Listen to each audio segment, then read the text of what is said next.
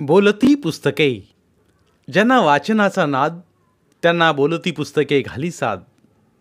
आमचं channel subscribe करा आणि सबस्क्राईब करायला इतरांनाही सांगा. मंगला भाग नववा. जेवण वेळ झाली होती. नागोजीच्या वाड्यापुढं पंजाबी सैनिक पहारा करीत होते. त्या चौसोपी वाड्यात माणसं तर्र झाली होती. सर्वत्र हत्यारं पडली होती. दारूचा उग्र वास दरवळत होता. चंद्रू महादू हे स्वतःला विसरले होते. गावात मुखी गस्त चक्रा मारित होता. त्यामुळे निर्धास्त होते. चंद्रूची जखम आता फारच चिघळी होती. पण त्याचा ताटा यत्किंचितही नमला नव्हता. तो दारू पिऊन महादूशी तंडत होता. गण्यामांग कितीतरी उशीर एकाच जागी उभा होता. आपण उपराटी उडी मारावं असं त्याला वाटत होतं. त्यासाठी तो आपलं अंग तोलीत होता. पण त्याचे पायच उचलत नव्हते. आणि चंद्रू महादूचं भांडण आता हात घाईवर आलं होतं. डुक्कार आणि कुत्र यात श्रेष्ठ कोण? हे ठरवीत ते दोघं एकमेकावर गुरगुरत होते. मी म्हणतो कुत्र्यापरास डुक्कार बरं. महाद्या गुरुकला. ते कसं? चंद्रूनं डोळे वटारले आणि महादेव विचारात पडला. डुकराचं श्रेष्ठत्व कसं सांगावं? हा त्याला पेच पडला. बाजूला असलेले सर्व गुन्हेगार दचकले होते. या दोघांचं भांडण कुणी मिटवावं याची त्यांना भ्रांत पडली होती आणि ते दोघे हळूहळू एकमेकांकडे सरकत बोलत होते. अखेर महादू विचार करून म्हणाला डुकराला काळजा असत्यात. महादूनं स्वतःशी मिशी चिमटीत धरून वाकडी मान करून तिला झोका दिला आणि चंद्रू तरकाटला. डोळं वटारून म्हणाला पाच काळजा असून काय कामाची? का पाच काळजा असत्यात म्हणून तिला लष्करात भरती करता येतं? काय करता येतं? बोला. चंद्रूनं महादूपुढं बोटं नाचवली. मग ते भुवा भुवा करणारं कुत्रं काय करतं? माधूनं उलट सवाल केला. कुत्र्यानं काय करावं असं तुमचं मत आहे? चंद्रूनं उलट विचारलं. म्हणजे माझं म्हणणं असं. महादू म्हणाला ते कुत्रं का ओताल चालतं? का त्याच्या पाठीवर बसता येतं? मग ते मोठं कसं? म्हणजे? चंद्रू गुरखला म्हणजे काय? घाण खातं? माधू म्हणाला मेलं म्हणजे गावाबाहेर टाकलं तर बरं नाहीतर डोसकं उठतंय असं म्हणून त्यानं स्वतःचं नाक दाबून धरलं आणि चंद्रूनं नाक फेंदारलं. तो म्हणाला ऐका भाऊ नसल त्यानं कुत्रा पाळावा आणि वैरी नसल त्यानं बकरा पाळावा. असा वडिलांचा बोलच आहे आलं डोसक्यात? आता बोला. पर माणूस डुकराला खातं. कुत्र्याला खातं का सांगा बरं? माधूनं विचारलं. अव पर माणूस डुकराला खातं पर डुक्कार माणसाला खातं का सांगा बरं? चंद्रूनं विचारलं. नाही बरं. माधूनं कबूल केलं. आणि कुत्रं डुकराला खातं हे खरं का? चंद्रूनं चढाई केली आणि माधू म्हणाला ते बी खरं हाय. महादूनं पुन्हा कबूल केलं. मग डुक्कर मोठं का कुत्रं? चंदूनं लगेच विचारलं आणि माधू उत्तरला खरंच खरंच आत्ता मातूर कुत्रं दांडगे? माझं घसलं बरं का? असं म्हणून तो मोठ्यानं हसला आणि सर्वच लोक हसले. अखेर तो वांदा हसून मिटला म्हणून त्याने सुटकेचा निश्वास टाकला आणि त्याच वेळी नागोजी आला. तो म्हणाला बागेवाडी कर. जी. चंद्र उठून उभा राहिला. जेवणं झाली का? नाही पाटील. मग केव्हा करणार? आत्ता पाटील. मग लवकर आटोपून मोकळे व्हा आणि आज सावध असा जरा. ठीक आहे उठा रे. चंद्रूनं हुकूम सोडला. राम राम मंडळी. हंबीरनं सर्वांना रामराम ठोकला. कोण? हंबीर पाटील? सर्वच घरकन फिरले. नागोजीला आनंद झाला. आज दिवसभर तो हंबीरची वाट पाहत होता. तो म्हणाला हंबीर आहात तरी कुठं? त्या रात्री जे तुम्ही गेला ते आज येत आहात? हंबीर काहीच बोलला नाही. मग ते दोघे माझघरात गेले आणि हंबीर कावरा बावरा झाला. तो म्हणाला तुम्हाला काही समजलं का? नाही. का? काय घडलंय? नागोजी बेचैन झाला. मंगलाचं लग्न झालं. हंबीर उद्विग्न होऊन उद्गारला आणि नागोजीवर कडा कोसळला. त्याच्या मस्तकाच्या ठिकऱ्या उडाल्या. तो चेतून म्हणाला घात झाला. आम्हावर सारखं दडपण आणून हिंदूरावानं हा दावा साधला. खरंच खरंच आम्ही महामूर्ख ठरलो. भ्याड ठरलो. मांगल्यावर नजर ठेवली नाही. स्वतःचं रक्षण करीत बसलो. म्हणून मंगला हातची गेली. बिचारीचं वाटोळं झालं. पण तुम्ही तरी काय केलं? कुठं होता? पाटील दगाबाजीनं हे लग्न उरकलं त्यांनी.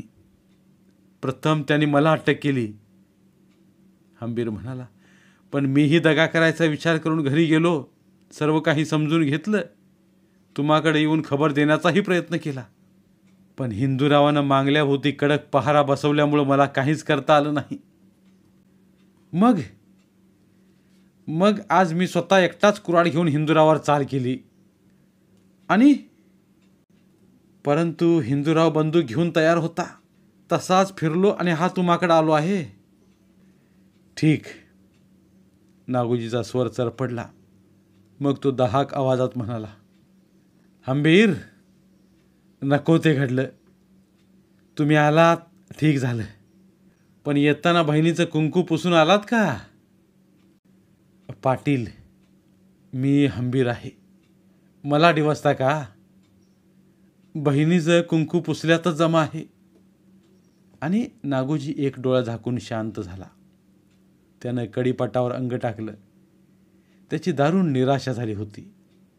मंगला गेली. ती आपली होणार होती. आज ती दुसऱ्याची झाली. ते रूप ती काया आज एका चोराच्या मालकीची झाली. आणि आपण एवढे मात्तबर असून मूर्ख ठरलो. असा विचार करीत करीत तो बसला होता. हंबीर खिन्न झाला होता. वाडा शांत झाला होता. कुणीही कसलीच हालचाल करीत नव्हते. एकाएकी नागोजी उठून बोलू लागला. हंबीर खरंच मंगला महाबंडखोर आहे. शेवटी तिनं बंड केलं. मात्र तिनं बरं केलं नाही. ती उद्या धुवून निघणारी हळद लिहून आज पत्नी झाली. ती उद्या फुटणारा चुडा लिहून बसली.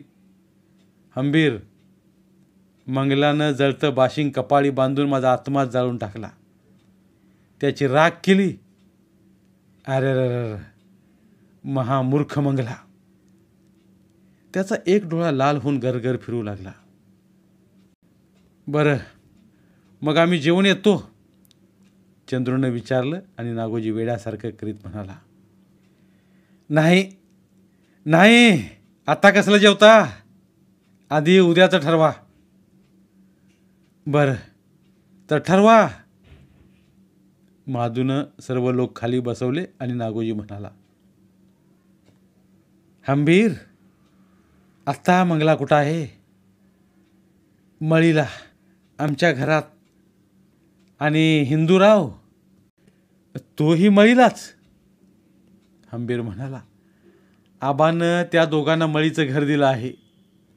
हिंदूराव अधूनमधून घरी येतो. त्यावेळी मंगला मळीला असते. हे ऐकून नागोजीच्या काळजात डोंब उसळला. तो म्हणाला ऐका आता हिंदुरावावर पाळत ठेवा आणि आपण आता मांगल्यावर चढाई करूया. कबूल कबूल. सर्वच उद्गारले. कबूल. पण ही चढाई कशी करायची? नागोजीनं विचारलं. तुम्ही सांगा. चंद्रू म्हणाला. ऐका आता. नागोजी म्हणाला. चंद्रू तू थोडी माणसं घेऊन नदीनं सरळ खाली जाऊन हंबीरच्या मळीला दबा धरून बसायचं. माधू तू डाव्या बाजूनं आणि मी उजवीकडून पंजाबी लष्कर घेऊन गावातून मळी गाठायची. हंबीरनं थोडे पाय घेऊन सरळ नदीनं येऊन घरालाच वेढा घालायचा. हो पण हिंदूराव घरात शिरता चपळाई करायला हवी. जपून त्याच्याकडे बंदूक फार चांगली आहे. तो दुबळा नाही तो दहा विसांचा जीव सहज घेऊ शकेल. पण भ्यायचं नाही. दिसेल त्याला आणि पुढे येईल तो खाली पाडायचा. काय? कबूल. हेही कबूल. सर्वांनी मुंड्या डोलावल्या आणि नागोजी गरजला. जाता तर जेवून घ्या. सर्व उठून जेवणाला गेले आणि नागोजी एकटाच बसून विचार करू लागला. मध्यान रात्र झाली होती. भीषण शांतता नांदत होती. अंधारात सारं जग बुडालं होतं. चौकात अस्ताव्यस्त स्थितीत लोक लोळत होते. दारुणी मांस नरड्याला येऊन ते मेल्यासारखं पडून घोरत होते. सोप्यात कडीपाटावर नागोजी पडला होता. त्याला झोप लागत नव्हती. त्याचं मन चरपडत होतं. हिंदुरावाशी वैरानं मन आता मत्सरानं करपत होतं. ते क्षणाक्षणाला मांगल्याच्या मळीला त्या चिरेबंदी घरात जाऊन परत येत होतं. आपण मंगलाशी लग्न करणार होतो. ती मंगला हळदीच्या कोंबासारखी मंगला आज आपल्या वैऱ्या शेजारी अगदी खेटून निजली असेल त्याच्या कानात काहीतरी बोलत असेल आणि हसत असेल त्याला बिलगून ते कल्पनेचे चाळी त्याला सहन न होऊन तो उठून बसला. त्याबरोबर त्याचे विचारही उठले आणि स्वतःच्या कपाळावर हाणून घेत तो म्हणू लागला मी मी दुर्दैवी ठरलो. जिला आपण आपली पत्नी मानली ती आपल्या वैर्याची व्हावी यापेक्षा यापेक्षा दैवदुर्विलास तो कसला असू शकतो?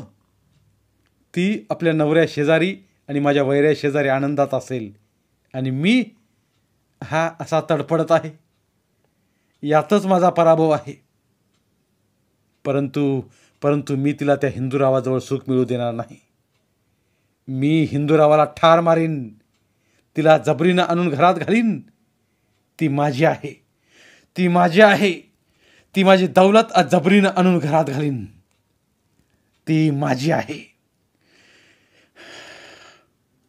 ती माझी दौलत आज चोरा हाती गेली असून आज या घडीला तो चोर तिला वाटेल तसा उपभोग घेत असेल.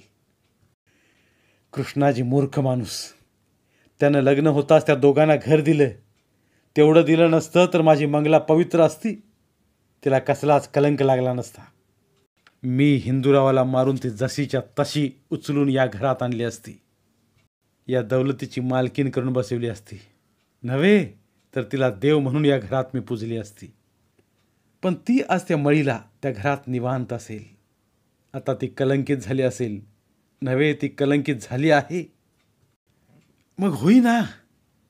हाच तर माझा दुबळेपणा आहे. कशाचा कलंकनी काय? मी तिला या घरात आणणार. पत्नी म्हणून नाही तर एक सुंदर रखेली म्हणून. इथं इथं पाणी भरायला लावीन. तिनं आपला हेतू खरा केला. आता मीही आपला हेतू खरा करीन. तरच मी बापाची अवलाद नाहीतर लोक म्हणतील दुसऱ्याची बायको घरात आणली. मग बिघडलं काय? कारण त्यालाही काळीज लागतं हिंमत असावी लागते. दुसऱ्यानं माझी होणारी पत्नी दगाबाजीनं पत्नी करून घेतली मग मीही दगाबाजीनं तिला आपली रखेल केली तर त्यात कसलं पाप? हंबीर चंद्रू गण्या महादू हे सर्व निजले होते आणि नागोजी जळत होता. विचारांचे निखारे त्याच्या अंगाला चटके देत होते. त्यातून त्याची सुटका होत नव्हती. त्यानं बाजूला लटकत असल्या बंदुकीकडं पाहिलं आणि तिला म्हणाला कधी हा दिवस उगवेल आणि मी मांगल्याच्या मळीला जाईन?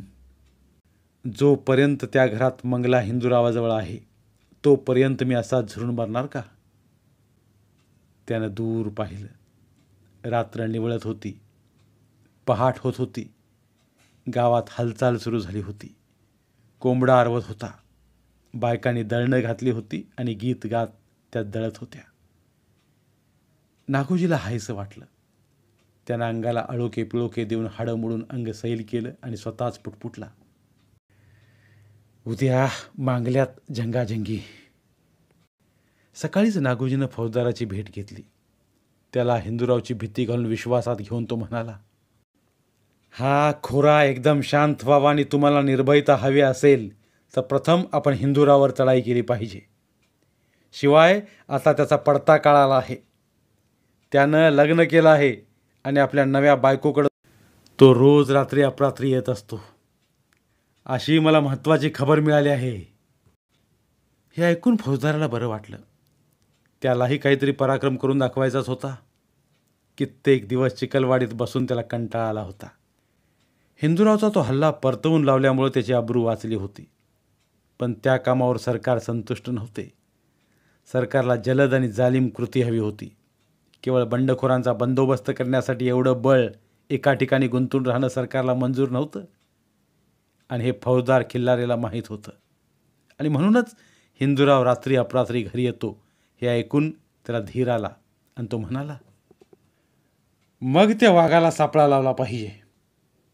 हिंदुराव वाघ आहे हे मात्र आपण विसरू नये. तो हाती यावा यात शंका नाही. पण त्या कामी किती जीवांचा बळी द्यायचा? हा महत्त्वाचा आणि अब्रूचा प्रश्न आहे. तुम्ही म्हणता ते सोळा अन खरं आहे. नागोजी म्हणाला हिंदूराव प्रथम सापळ्यात अडकल्याशिवाय आपलं काहीच चालणार नाही. हे मलाही मंजूर आहे. तुम्ही फक्त तयार असा.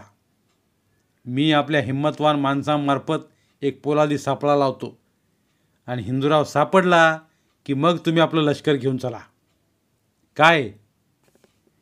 हे मला पटलं. फौजदार म्हणाला कारण मी बेवकूफपणा केला आणि नाहक माणसं पुढं करून गमावली तर माझी चांबडी ही जागेवर राहणार नाही. याची तुम्ही काळजी घ्या. कारण माझी चांबडी गेली की तुमचीही गेलीच म्हणून समजा. ठीक आहे नागोजी म्हणाला. आता मी कामाला लागतो.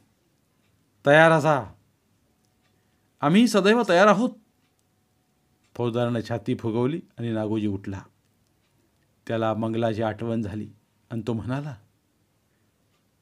फौजदार साहेब आता एकदा मांगल्यात झंगाझंगी करूया. मग तो स्वतःशीच म्हणाला आता लवकरच मांगल्यात झंगाझंगी होणार. हिंदूराव मरणार आणि मंगला हां मंगला जरूर मी तिला आणीन. हंबीर काय करणार आहे? तो तर तयार आहे.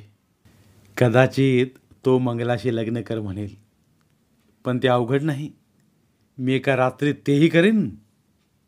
मग मग मीही तिच्यावर सूड घेईन. तो तसा नव्हे तर भयंकर. महाभयंकर सूड मी घेईन. मी मी सूड घेईन तरच माझा आत्मा शांत होईल. धन्यवाद. उर्वरित कादंबरी पुढील भागात. साहित्यरत्न लोकशाहीर अण्णाभाऊ साठे यांना त्रिवार अभिवादन. लोकशाहिरांचं साहित्य अभिवाचन स्वरूपात लोकापर्यंत पोहोचवणं हा आमचा संकल्प आहे. चला तर मग साहित्याचा हा खजिना सर्व मराठी जनांपर्यंत पोहोचवूया. जास्तीत जास्त शेअर करूया. पुन्हा एकदा धन्यवाद.